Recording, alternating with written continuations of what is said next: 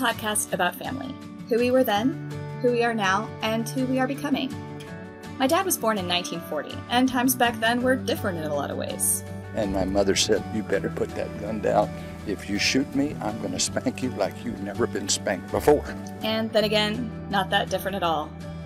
Still picture us walking down the street looking at the windows, looking at those travel brochures, looking at the diamonds and the little coffee shop and all that. And uh, something I'll never forget.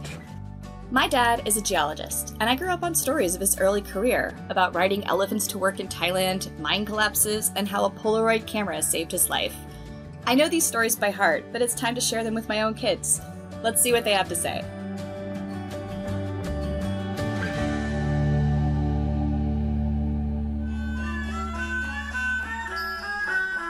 Okay, this is in Thailand. This time we had to go to the northwest corner of Thailand. Forget what the, the Golden Triangle it was called in those days. This is where opium was grown. And this was a, a major world opium growing area, and this is on the Thai Burmese Laotian border area. This geologist had flown over this area and he told us about all of the tungsten. He saw this huge vein there that he saw from the air. He didn't have any pictures of it, and there were three of them, and that uh, there were people that were doing a little bit of mining on them. These are called greisen deposits, and there should be incredible quantities of tin and tungsten there. But mainly it was the big quartz veins because they're the richest kind of all. So, okay, we're going to go there. So it would be Frank Tolmans. Uh, he is uh, the young Australian geologist that we have, and he and I and a Thai geologist are going to go there. There's, I think we had one or two Thai geologists with us, one for each of us. I think we took a bus to um, a town called Kanchanaburi, if I remember. And then there we took taxis to this little town that was on the River Kwai. Now, if you ever study World War II, that was where the British soldiers built a bridge over the River Kwai. It's a very historic movie and all this sort of stuff.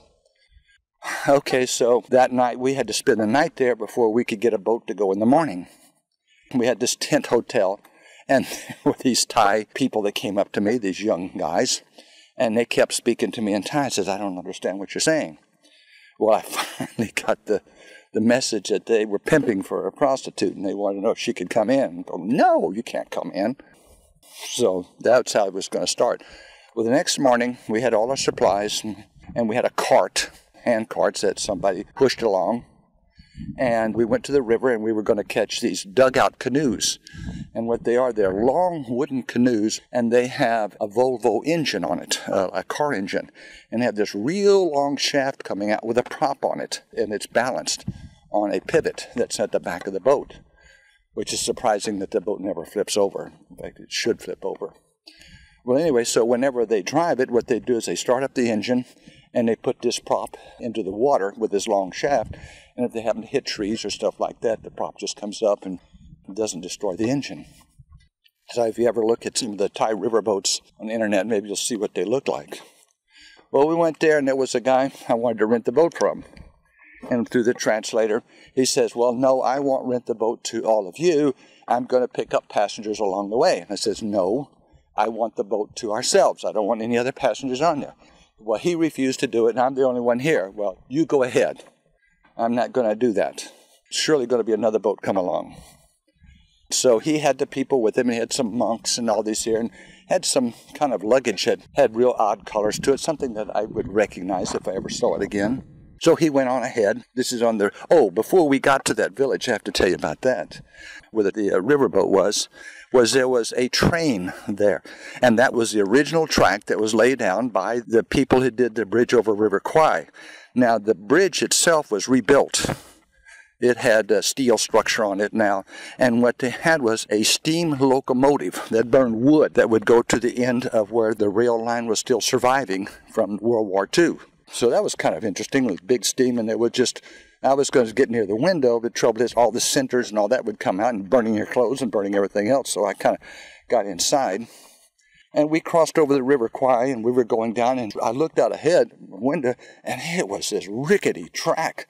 And it was like 15 feet above the river's edge, and it was along the edge of a cliff. And it was just timbers with the railroad track on it. Uh, holy mackerel! That was built in World War II, and they're still using it. Now, this was just principally a passenger train with some flat cars that had supplies on it.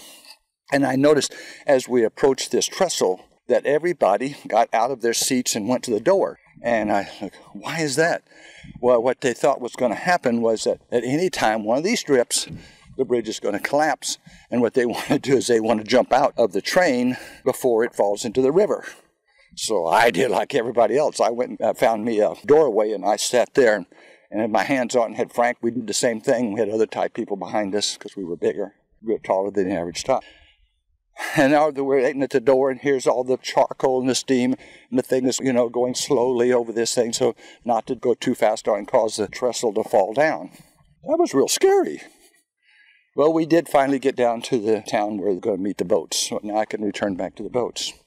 It was still about nine o'clock in the morning, and another boat came. And I, so through the Thai geologist, this was all going on, we could rent the entire boat. So the other boat had taken off an hour before us. So we put all our supplies in it, and we will be in this boat for about six to eight hours. So we're talking about all day going in. We're going 20, 30 miles an hour on this thing, but it's a real windy river. And at that time, it was a rainy season, and the river was full. It looked like to me a normal river.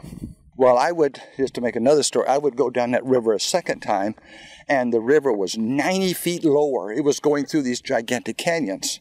So during the rainy season, this river would actually rise up 90 feet. And there was a lot of rapids and little kind of things that you had to worry about. Well, we were gone about two hours on this boat, and I noticed, oh my God, there's bodies floating there. And what happened, the boat that the guy wouldn't rent to us had collided with something and it overturned and all the people apparently um, all the ones that we saw were dead and they were floating down the river along with the boat and with their suitcases and everything else floating down there. So i said something to the driver said that's their problem. We just went on. So i was really glad that we got our boat that we did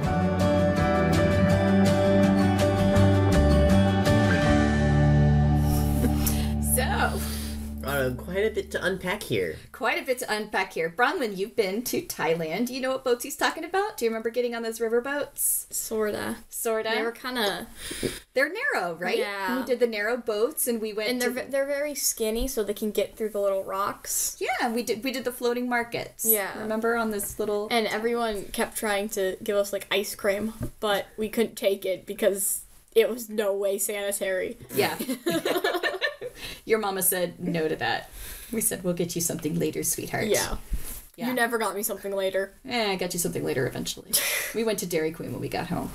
I think the most interesting thing was the story regarding the, the train bridge that was apparently known for its ricketiness and enough that whenever you went across it everyone just knew that you stand by the door so that you know you can jump out in case it falls.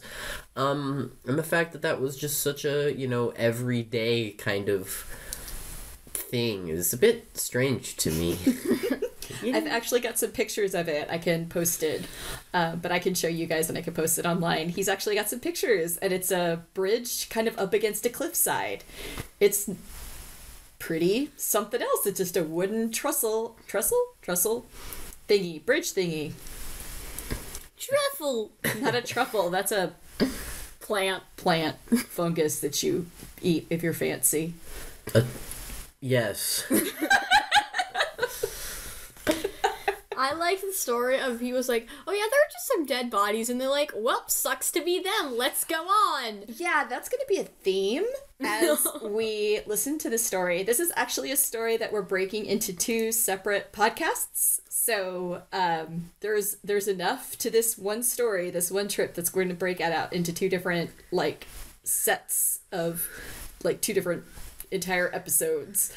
Something I hadn't thought about was the idea that when you're on a steam train, steam engine, that the cinders fly out and burn you if you're sitting by the windows. For some reason, that had never occurred to me. Uh, I thought that the cinders were ejected upwards. Yeah. But they come up and then they come back toward the They- train. Yeah, but Yeah, They're up. at But front of the they're train. above the train. The train, And and, then it's they- a floating. Yeah. Mass. Yes, and then they right? probably fall, maybe? No, I don't, they know the composition of steam train exhaust, so I Oh, couldn't tell I'm gonna look it up. That's not. It's not look upable. Yes, it is. All things are look upable. Um, Depends on how accurate you want your does results. train engine steam Does train engine steam? just burn you sitting next to a window? What kind of a question is that? Does train engine steam burn you if you sitting next to window? well, does it, darling? Um, Do you know Wait, how to read? the the chimney smokestack or stack in American or Canadian English is a part of a steam locomotive, which the I can't read this. It this. just defined a chimney. oh, it's just It's about the response I expected. shut up. I have no idea. It's not giving me anything. Well, I'm gonna trust the source that we have been provided with. What what was the source? Your father? Yes. That's not a very like good source. well, I think this entire podcast is dedicated on the idea that at least Lisa's somewhat reliable source. I mean, mm. We could turn it into a fascinating play on the concept of an unreliable narrator. Joke's on you! Everything we came up, this was all just BS. yeah. re- re- Remember that ball that they made out of pig intestines that they would throw at people and kill That's each just called other? a normal football. yeah. Okay. Well, on that note, let's see what's coming up next. Okay, here we go.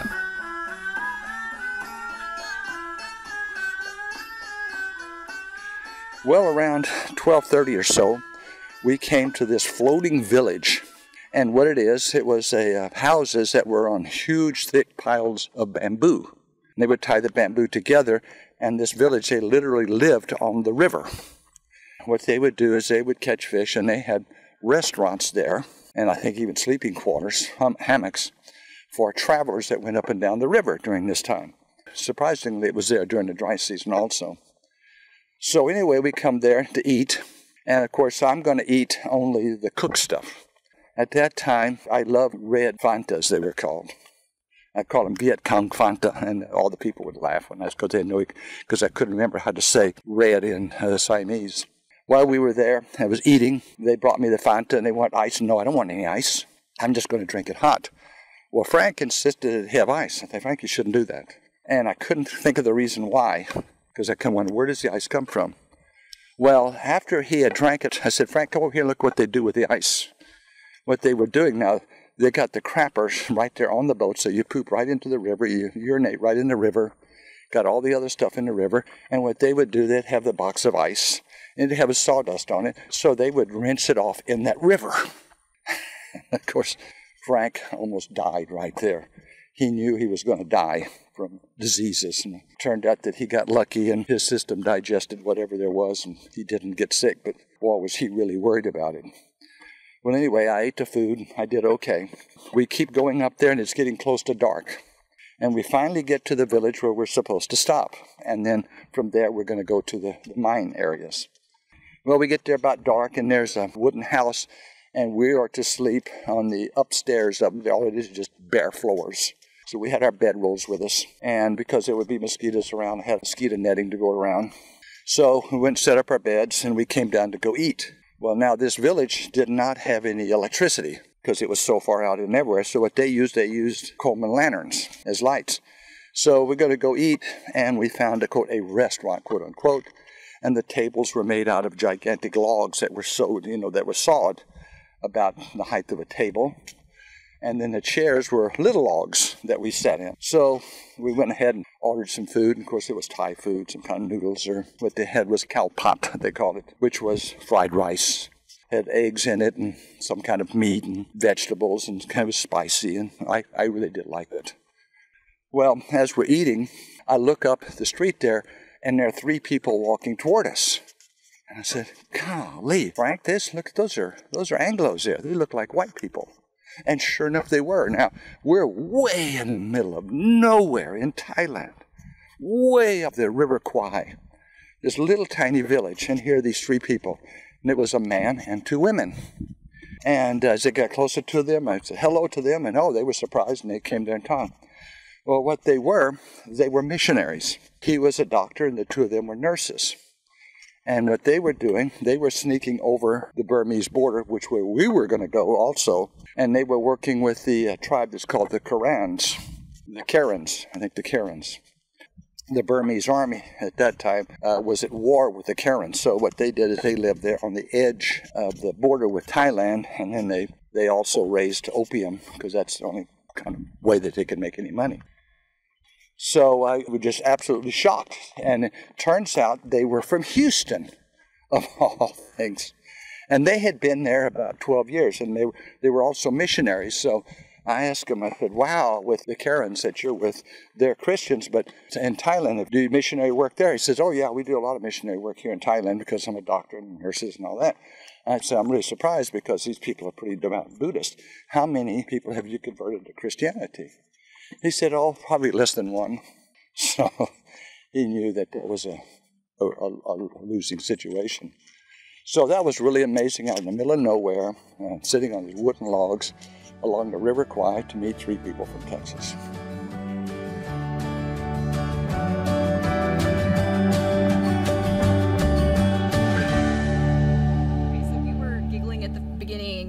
Listening because you didn't understand the reference to Viet Cong Fanta. So it took me a second because I couldn't hear him right because he said Fanta. Fanta, And so- I'm like, what is Fanta? Is, what is Fanta? Fanta is Fanta. Fanta. The- well, like the- the, the- the drink. drink, Yeah. like the orange in this drink. random town in the middle of Yeah. It's not a town. It's a, it's a floating river society. Yes, it's a Fanta. So they were drinking Fanta, For some and and Daddy wanted a red Fanta, and he couldn't remember the word for red, so he called it Viet Cong because they're communist, and so then they were like, ha ha ha. So Viet Cong Fantas, red Fanta. It's it's a joke. That's pretty funny. Funny It's super funny guy. Well, the Thai people thought it was funny back in the 70s. Well, this sure was they the did. seventies. This is, yes, all of these stories are before I was born. We were in Thailand recently and we did kind of the same thing, right? Of like only eat stuff that is cooked. And Definitely. even like with the fruit, and we were just kind of like worried and like don't necessarily get the ice. I remember we were on like that floating market, or it was some kind of little. It might have been the train market, mm-hmm. and they had offered us like fruit, but there were flies around the fruit, and we were like, no. Yeah. Why would we want to eat this? There's literally flies on it. Well, how are you selling this? And then we saw this woman in the train market literally just chopping heads off of fish. Yeah. Like she, actually, live she fish. like, yeah, she would like beat them for a minute and then chop their heads off. Yeah, she had a bucket of like catfish or eels, maybe, and she Something would like pull them out of the bucket and she would bang them on the head to like stun them, and then she would cut their heads off and throw them into two As they were still kind of like wiggling, she would throw them away for someone to take the scales off. I like to think that my chicken nuggets just grow like that and are harvested off of a chicken Realize nugget it's tree. even worse. Shush. like I said, But this is why you don't eat burgers. this is why I like chicken nugget trees. But yeah, just seeing her like just hit the stupid thing and then chop the head off and over there and over here and yeah, so whenever we traveled, thinking of these stories from my dad, we were really careful about the food that we ate off the street. We did do a street market tour the guy and the guy was like, I'm taking you to white people's safe food that your stomachs can handle? Because he's like you know i grew up here. I can handle like a lot of different things depending on how it's made. He was very nice about it but he's like your stomachs are used to this or not used to this and i kind of know what you guys can eat and go home and not Yeah. like barf all night Do you yeah remember um, when we were in Thailand? Erin was so mad because her dad is part vietnamese. Vietnamese, and she was like, "I want the white people food," i went yes because because everyone assumed since we were in Thailand, she kind of looked Thai, so everyone assumed she was Thai and she could eat Thai food, but she couldn't because she didn't grow up in Thailand. And she always had to say, I want the white person food. yeah They would all look at her and just talk to her in Thai, and she could not understand a single thing. i think it's funny dad never talks in these stories about the food being too spicy Yeah. He's like, I like spice, but granted, he does eat jalapenos with his ice cream. yeah that's kind of true I have a question. Is the reason that the food is so sketchy, is it because there's less public health codes or they're just not enforced? That sounds like a great question for Google, but I'm guessing both. Okay. I'm that guessing. would that would make sense to me as well. Well, I mean, and you can only enforce code as much as you have the infrastructure to support enforcement. So it's one thing to say you have to have fresh and clean water, but if you don't have the infrastructure in place to provide fresh and clean water, you can't really require kitchens to be spotless. It's it's kind of hard to enforce a law on a floating city yes. as it's literally moving positions every day. Yell at them from the shore. yes. I mean, we have a hard enough trouble with food trucks, you know. yeah. Yeah. So, Imagine trying to get a food truck, but it can go on the ocean. on the water and yes, you can just throw Is known as a boat. Shut your mouth. Yeah, but these aren't boats, these are canoes. They're like big, they're long. Still a boat.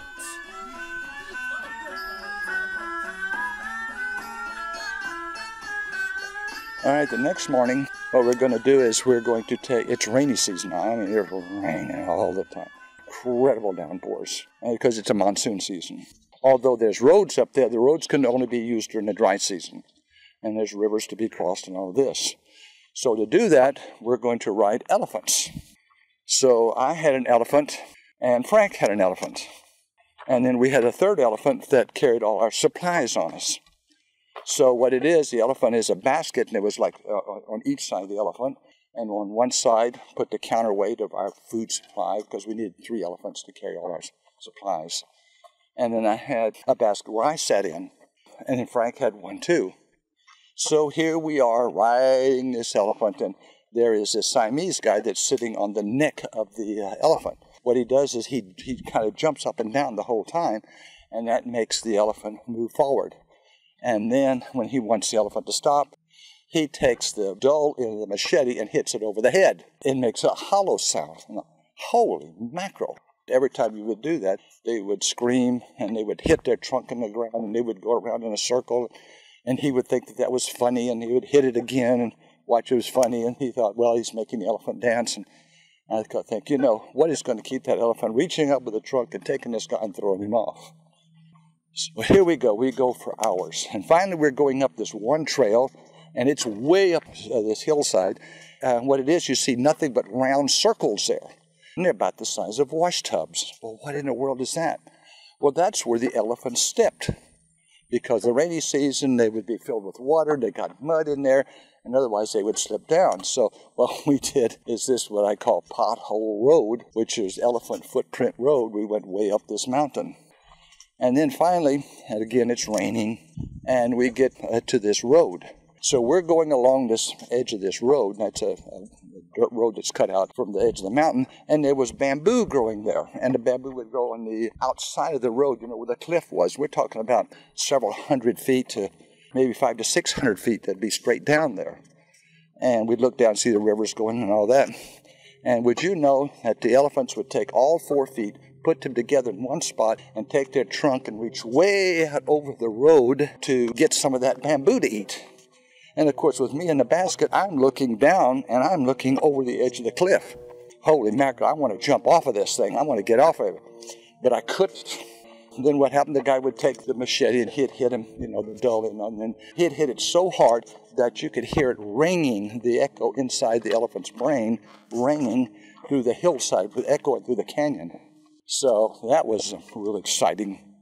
And then they decided to take a shortcut. So we're going up this hill, and the elephant refuses to go.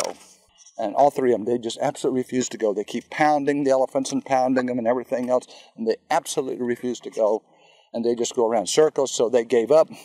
And we went down around, instead of going over the top of the hill, we went around the side of the hill.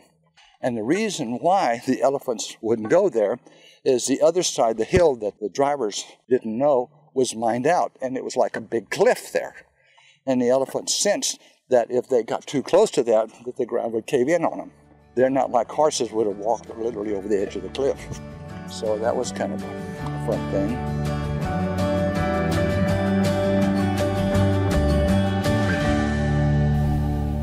I remember when we were going on like a tour. Remember that final tour we did in Thailand? In Ayutthaya, Ayutthaya. Mm-hmm. Ayutthaya, yeah. were the ruins, and we were driving past some elephants. And we were like, "Hey, maybe when we go come back from this tour around this temple, Yeah, we were going to a temple. and um, we were like, hey, well, maybe we could ride the elephants." And we were at dinner, not dinner. It was like lunch or something at this really weird restaurant with like three tables in a giant porch that looked into the river for some reason. It was very pretty. yeah.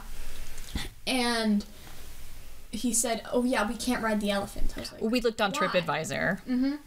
And they were like, because they were mistreating them. But yeah, can you imagine hitting an elephant on the head so hard that it is hollow and Sounds cartoonish. Yeah. it sounds awful and and so there are places now in Thailand where um because there were a couple places where we were and Kevin you weren't there where you could ride elephants and the place that we were looking at was being described just like dad is describing here where they hit them. And the tourists who went and described it on TripAdvisor were like we felt so bad after we went. It was horrific the way that the people were treating the animals.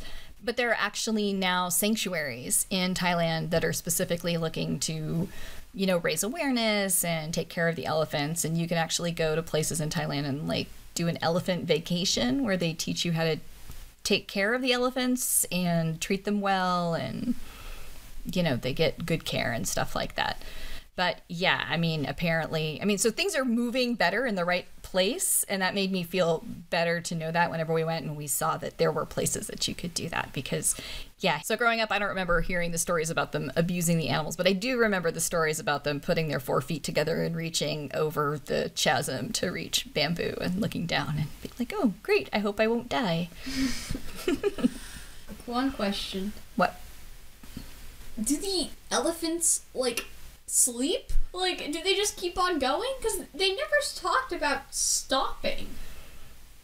That's a really stupid question. Well, I, I, I okay, I, I didn't mean to say it that way.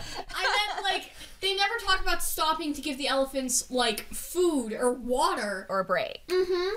That's what I meant. crap. Uh, that's I'm gonna probably true punch you in the face. No, but he's probably right. There probably wasn't a whole lot of care for the elephants' welfare as long Yeah, as they were. What if the elephant passes out and you fall into a chasm? Well, then it sounds like that's your problem, according to the boat guy from the previous early one. So, yeah, I think we are from a time when human life has just a little bit more value.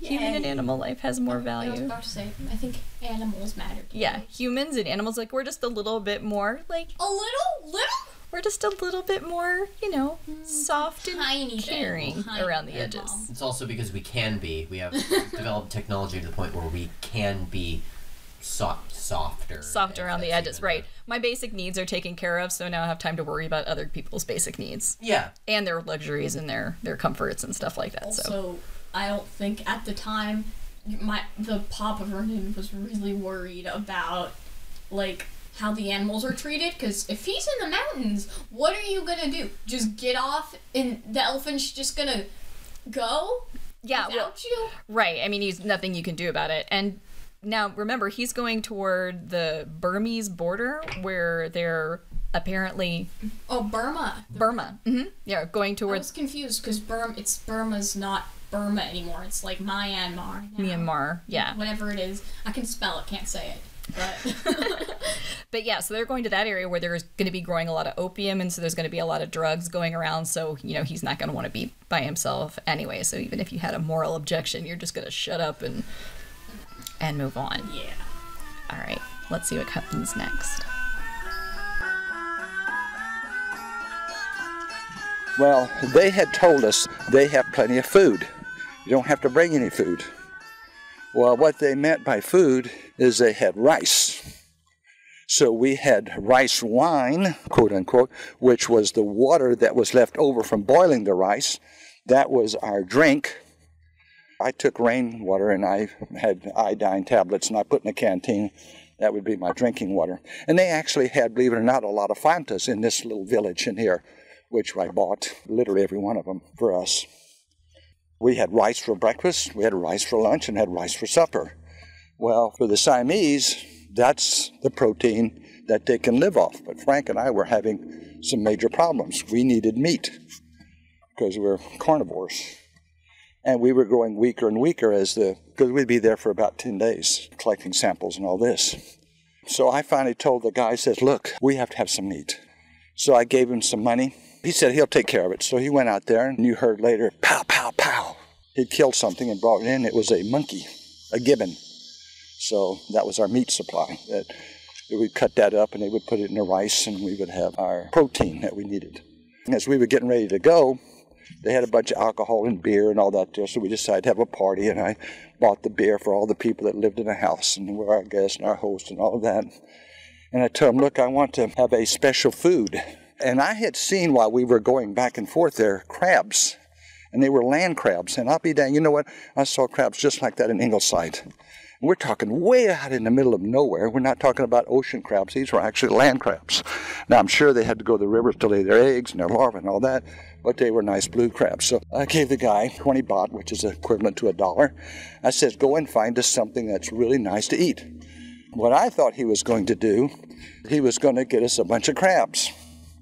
Well, he came back and he had this great big bucket full of black crickets. Know, the kind that you see going around the certain times of the year. You see them all around the light, gasoline pumps, and everything else. What are you going to do with those? Deep fry them.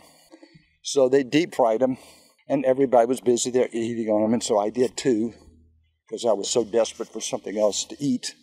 And you know, the only thing about is that the legs would stick between your teeth, so here you are trying to pull out the cricket legs after you eat them. So then after that, I knew to tear the legs off before I would eat them. So at least that was something to eat, and they were deep fried, and we did okay on them. When we were sleeping there, now there was, remember it's a rainy season, it's raining, sometimes really bad. So they always had no screens, and there was no air conditioning, and we be sleeping in our bedrooms on the floor there. So everybody it was just one big room, that's all it was. So we're all there sleeping on the floor in the bedrooms, and the mosquitoes were around. And so I would try to cover everything that I could except for my face. It was hot as crazy. And I would hear whoosh, and I'd feel a puff of air. What in the world was that? And then I thought for a couple of nights. So what I decided to do then was I'm going to have a flashlight that's going to turn on and see what's doing that. Well, you know what it was? It was bats and they were coming in and they were picking the mosquitoes off of us. Now, they weren't vampire bats, they were just insectivores. So that was a, after a while, I got used to it. You know, I'd go to sleep and hear the whoosh and feel it around my arms, and because my arms would come out because it'd be so hot. Sometimes around my legs because they'd come out of the bedroll because it was so hot. And then the bats, they were our mosquito protectors. So that was kind of weird having whoosh. oh, there's another bat. It took another mosquito off of me and they never did bite us. Just amazing that they could come that close to actually pick a mosquito from us.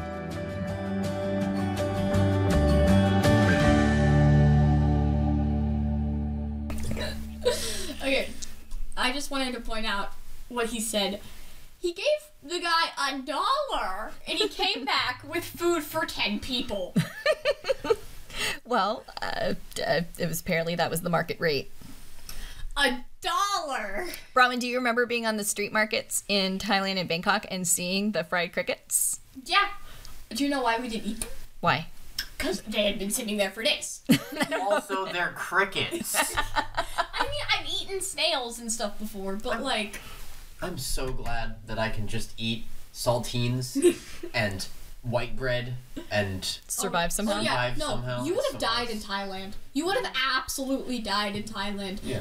We tried to order something. Remember when we were in the hotel and we had to order food? Oh, we tried to order food by looking at the picture. Uh-huh, by the picture of the food, let's just say the soup arrived in bags, It, it came in bags. It was crazy, like plastic bags. and we had to put them in our own bowls. Yeah, like baggies, like like if you ever gotten fish from PetSmart, like baggies like that, Mm-hmm. Like They were tied the same way. fish bags. like carnival fish bags. Yeah. The soup came in carnival fish bags, but not even like with oxygen in it because you don't need oxygen because there's no fish in there. It was like completely full, and we were like, it won't be that hot. My dad tried it and literally started like coughing. Like even my dad was like, "Yeah, it's a little, it's a little much here." So the And- food was really hot, but there was rice. I mean, rice I, I, everywhere. was, I ordered just rice because I wasn't that hungry and I did not want to eat anything on that menu, and I'm the only one who ate that night. I remember being there and eating a lot of rice and a lot of plain rice. I ate a lot of seaweed and rice. a lot of seaweed and rice. But that's one of my favorite things to say whenever I talk to people about, you know, how you can eat crickets. And it's really good. You just have to remember to take the legs off of them before you eat them because the legs get stuck in your teeth. I use that like it's common knowledge just to make me sound cool. That's very, very, very, Very hip cool. and cool and awesome. What did you think of the uh, What did you think of the bat story? I thought that sounded pretty much exactly right to what would have happened. I liked it. Hey, It's. Uh, it seems very practical. It does seem very practical. I mean, if you if the bats eat, then you can just kill the bats and eat them. Like if the bats eat all the mosquitoes, why not just kill the bats? The and eat food them? chain in action. I guess. But th- they never talked about them killing bats. That's true. They didn't talk about eating bats. No, but I feel like that would be really easy. Just like a stick out your hand and grab one by the Instead, neck. they ate monkeys or a gibbon. I was gonna say they seem harder to get, but also apparently it's somewhat easy. It's it's easy enough to get an entire basket of crickets that it's worth one dollar. So Yeah.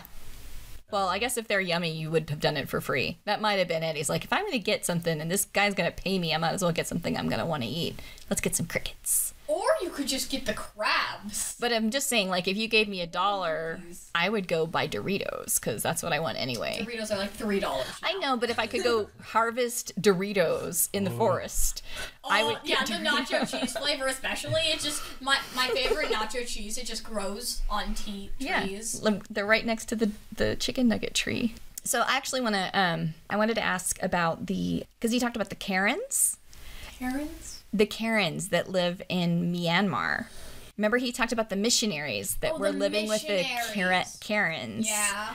I thought that was really interesting, and that they're very, very, very persecuted. And I think you were just googling Myanmar and learned about, like, it just Oh, yeah. first option was genocide. Yeah. yeah, eighth option, but yeah. yeah, right in there. And It so was like Myanmar coup, Mm-hmm. Myanmar genocide, and Myanmar like pronunciation. Yeah, yeah. If you look it up, this has just been like the the people who were there. Just their situation keeps getting worse and worse because of all kinds of, you know, religious weirdness. But I thought that was also interesting when he's like, all of these people are are Buddhist. How many have you converted? Probably around less than one. So. So this is what's going to set us up for the next podcast. So we are going to be in the jungle, ready to go, and everything that's coming up from here is going to be him going out and looking for rocks. So this has been kind of coming out to the jungle. We've started with, you know, prostitution and uh, Crickets. crickets and, dead anim- monkeys. dead monkeys and animal abuse and questionable infrastructure and dead floating bodies and and and w- there's more Lots to come. Lots of death and disease. Lots of lots of death and disease, and we learned about Viet Cong Fantas, so we are making some progress. The more you know. Da-da-da-dum. All right, thanks, guys. What was that? Oh my god, I forgot that you're little. What? what? I'm gonna go hide now. Bye. Thanks for listening. This was produced by Clever Fred Studios. Our intro music is This Is My Town from Slipstream. Special thanks, as always, to Kevin and Bronwyn for taking the time to listen to these stories again with me, and of course, thanks to my dad for taking the time to record them in the first place. Here's a sneak peek at what's coming up next time. and I took some samples and I was looking at it and was kneeling down, wasn't paying much attention, and I felt uneasy. Something's wrong here. And I looked up, and here were the miners coming toward me, and they had their machetes in their hands, and they were hitting the palm of their hands with the flat part of the machetes.